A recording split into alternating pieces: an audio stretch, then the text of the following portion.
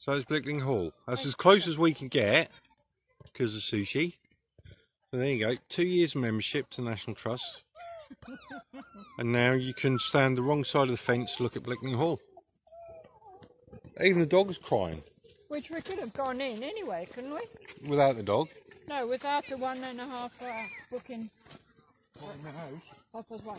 No, we weren't going in the house. We had to book to go in half past one. That's where Amber used to live. Is the house open inside? No. It's. No, because of coronavirus. I can't remember You can't- much about it. well, you need to remember because you made us walk all the way to the lake and round it. Like where you went- Yeah, well, I don't recognise the bit that I was on.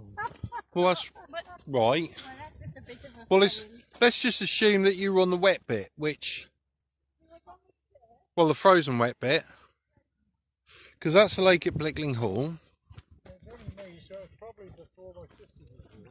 right? So I'm maybe four years old, five years old. Right. They weren't here.